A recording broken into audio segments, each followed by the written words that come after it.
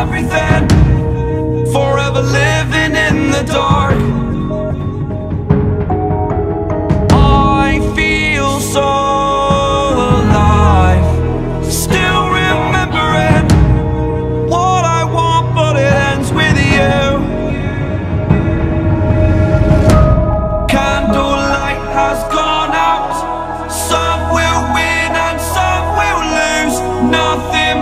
Else to say Thought I was searching for something